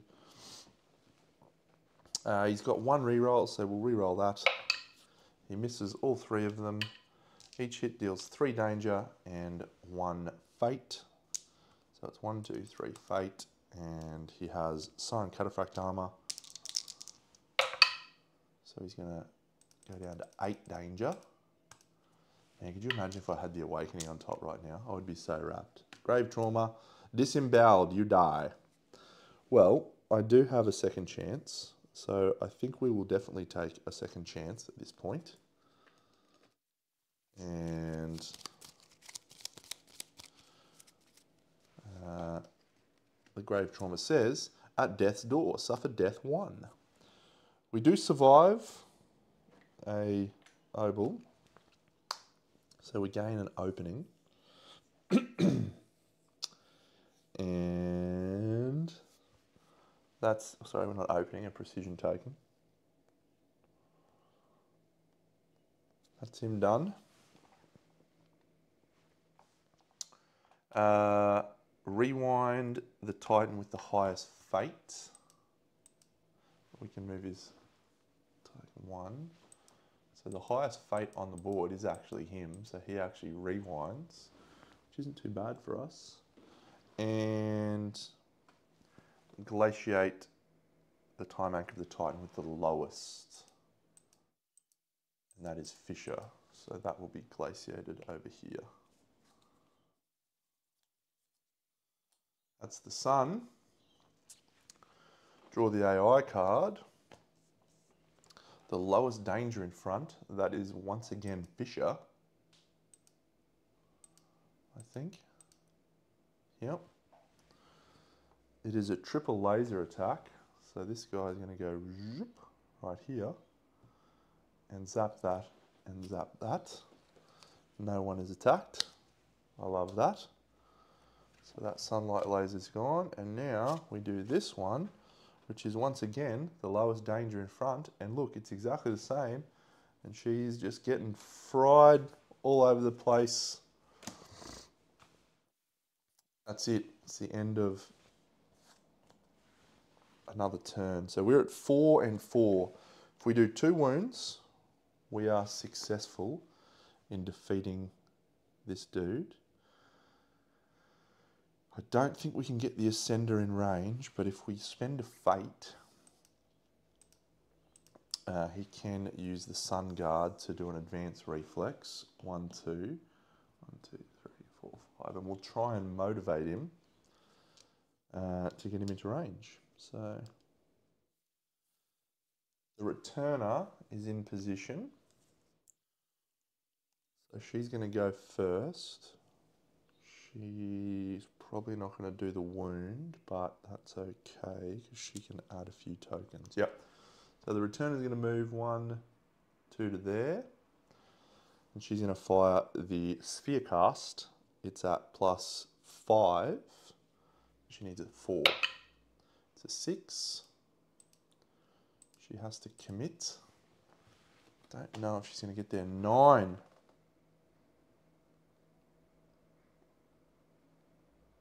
Okay. It's four reds plus a red for her, plus we've got a black and two hope tokens. Unlikely. Uh, one, two, three, four, five. We'll re-roll this with a black token. Six, nothing at all. No wound. So fail all titans in zone one, which is just her gain a danger. Got nothing I can do about that, I don't think. So she has to draw an obol, which means she has to draw a dyed obol. That sucks, man. I mean, I suppose I didn't have to put her in. Actually, she's not in zone one. Oh, man, how good would that be if I just moved her into zone one? What a chump. She's not in zone one, and she's not adjacent, so she doesn't suffer any penalty. Whew.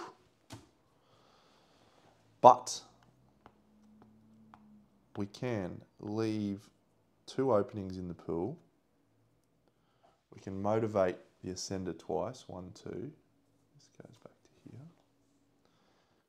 And we put three fire tokens in the pool. One, two, three.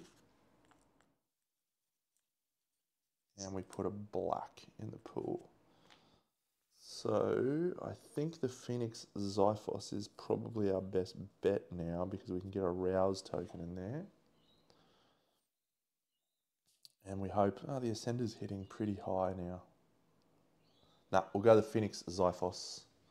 One, two, three. She will attempt to climb with a Fury. Don't think that's enough for her. Three, one Fury. Uh, Fisher, no Fury. We'll re-roll that attempt with Fate. Seven's enough. So she gets onto the vantage point. She'll attack with the Phoenix Xiphos. She's plus one, plus two, three, four, five, six. She's hitting on fours. That's a critical.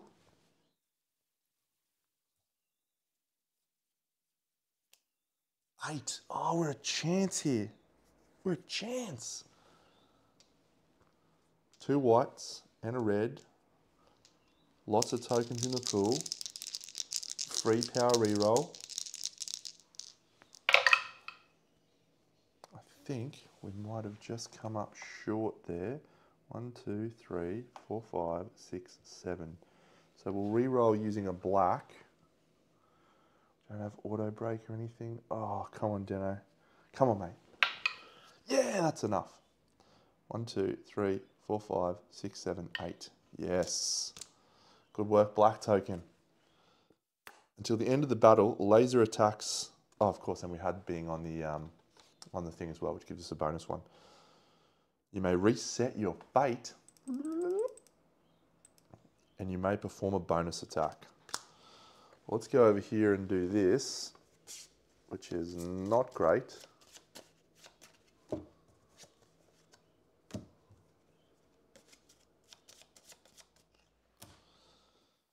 But one wound and we get through.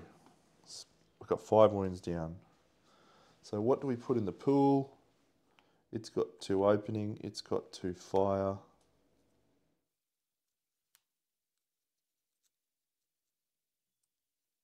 Oh, we can't attack with it again because it's a bonus attack. And we discard it after you finish resolving the attack with this weapon. That's okay. I think we're better off with the shade shield anyway. Uh, break, opening, and a what we've got in the pool now. And she can reposition two. She will reposition uh, one, two over there. Uh, the ascender is in range. One, two, three, four, five. He will attempt to climb up. Come on, ascender. A two is a fail, but I think at this point we definitely re-roll that with a fate. It's a five. No, that's not enough. Uh, he will, doesn't have that anymore because he's used it. He will attempt to swing with the shade shield. He is one, two, three, four, five. So he needs a five to hit. It's a critical. Oh, he can't get crit chances, this dickhead. but it's only an 8.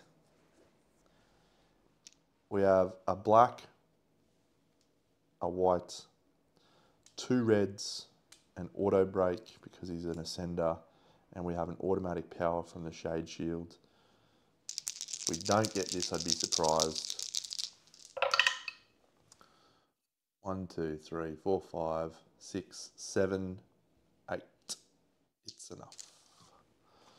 Whew, no Titan's dead.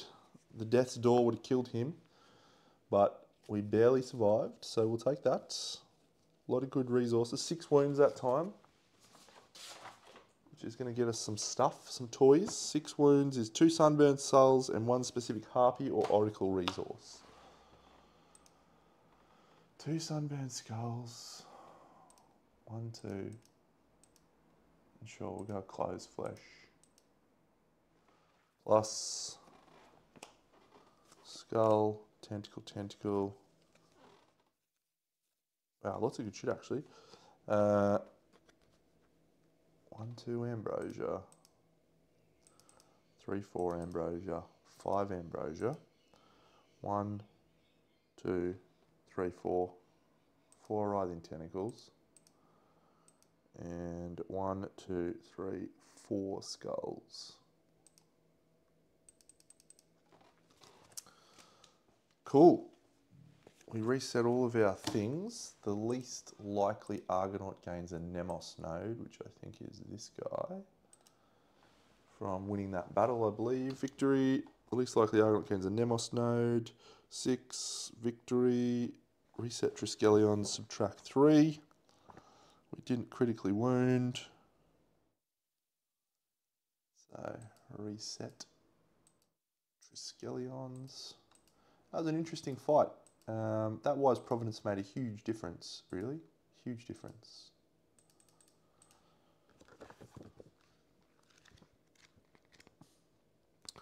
One oh seven, I think it was. Marked paragraph. you ascend the Acropolis deck, still reeling from the ferocity of the battle you have just endured. Barely. The knowledge that you have uncovered still rocks you to your core. Icarus became the sun descendant. He sacrificed his crew, his chariot, everything in order to succeed, and you helped him. Unwittingly, but the blame still rests heavily on your consciences.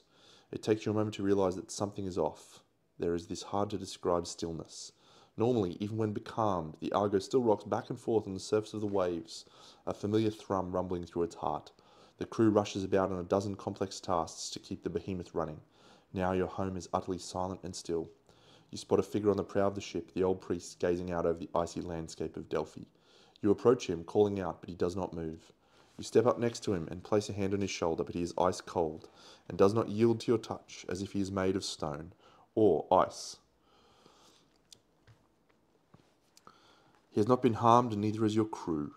The melodic, oddly familiar voice comes from directly behind you. This is merely a temporary measure. You spin around to see the giant, half the size of your titans. Golden robes swaddle his frame, while several pairs of large, expansive wings spread out behind him, their feathers glimmering with shards of reflected light. In the dazzling, dizzying patterns, you catch glimpses of strange sights. Myriad eyes gazing out at you, flickers of flame, splinters of black veined ice. A golden mask looks down upon you. The eyes behind it, once filled with sorrowful, despairing weariness, now hold a different light. Confident, empowered, all knowing. Icarus nods his head as if to turn to. nods his head to you as you turn to face him. I felt, after everything we have been through together, that it was best we speak face to face rather than with prying ears and eyes of others. Demand an explanation from Icarus, Delphine's diplomacy plus one, or attack him, Twilight Watch diplomacy plus one. What do we need? Doesn't really matter. Um, I guess we'll just we'll just talk to him. Delphine's plus one. We saw the Scriptos recording, you exclaim. What have you done? What was necessary? The losses were the missing variable. The towering golden figure states dismissively, and success was achieved. I found the perfect iteration. Now, and for all time permutations, I have done what my father wanted of me. I've exceeded the limits placed upon mortals. I am perfected. You betrayed your crew, you sputter. Killed them all. Doomed Delphi. Unavoidable. Expected due to the nature of the scope of this mission, thus acceptable. Icarus's voice, while lilting and beautiful in a strange hypnotic way, is devoid of emotion, cold, calculating. This time lock is my cradle. Unfortunately, it is only a half step. More needs to be done to proceed beyond my father's design, to impress even him. For a fraction of a second, there is spite there. He is still mortal in some way. You keep your expressions neutral, trying your best not to show any emotions, but inside your minds are seething. Icarus is so different from the kind but lost man you knew before, reforged by the crucible of his impossible mission and his father's desire into a cruel, pitiless being the price of perfection seems too high. Gain an Argo knowledge and two Argo fate, which will be irrelevant in a moment, I'm sure. 117. So what happens now, you ask? I have fulfilled my father's visions and reached the sun, Icarus responds, but it is still not enough. I shall surpass anything his limited mind could have dreamed of. For a moment, you hear faint anger resonate in his words. I have become the heir apparent to the throne left vacant, the true descendant of the sun itself, and I will seize it. Do you even hear yourself? The party leader sputters. This is madness. no, this is inevitable. The gold mask hand, head tilts. At the end of this vicious cycle of Delphi, for it has served its purpose as cradle and crucible. I shall close it. I am not utterly without gratitude, Argonauts. In thanks for your help, I have undone the eschaton here, as promised, so you could experience the world you worked so hard to restore. There is a tint of cruelty there, you think. He extends his hands, gesturing to the wasteland around you. You half expect the landscape to morph into the idyllic plains before your eyes, but nothing happens. Nothing has changed, the party leader growls through his teeth. Not powerful enough? You do not comprehend. The Twilight Epoch was never the original future of Hellas. Hellas. This is what a world without the eschaton becomes. This is the future you fought so hard to bring back. A world driven to the ground by cruel gods and their blind worshippers. Mine will be better.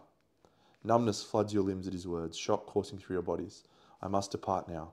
My purpose calls me to the sun's domain, where Helios once held court, where the descendant finally becomes the heir. I have repaid my debt to you, Argonauts. Whatever comes, I suggest you do not interfere.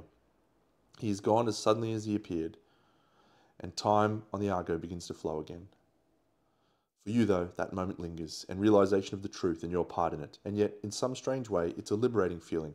All this time, as you were sailing Delphi, you wrestled with your conscience, questioning whether you should try and bring back the pre eschaton world, and the answer was there all along.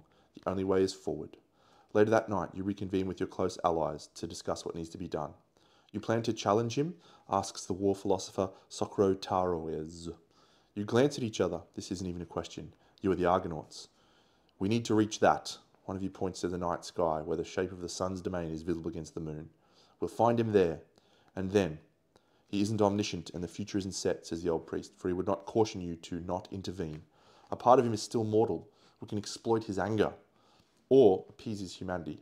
Well, the remnants of the imperative, or aspirant, or whatever the chariot's name is, will not take us there at the moment. But we've seen it done, and what I can see I can build. What I require is more components, and we need to find where the rest of the ship crashed down. You simply nod, and soon the Argo is underway once more, following the trail of the fallen chariots. We need to find the second piece of the same chariots, and we need to flip to eschaton side 2B, 3B, and locate the rest of the chariots. All right, friends, so we have to find the second half of the chariot. As I discussed at the start of this episode, I didn't realize that we hadn't actually revealed that information yet, but there you go, you now find out. Um, and we will um, start that very, very shortly. However, unfortunately, at the end of this day, we are going to loop. And the loop is going to take us right back to, yes, you guessed it, Ariadne's anchor where the burden is standing. So that is going to gain us an unavoidable doom, which means next day, or rather right now, we fight the burden, and then we're going to trigger the next doom card. So that's going to all happen next episode. Looking forward to it. Hope you enjoyed this one. Um, we'll catch you all in the next episode. Big Deno out.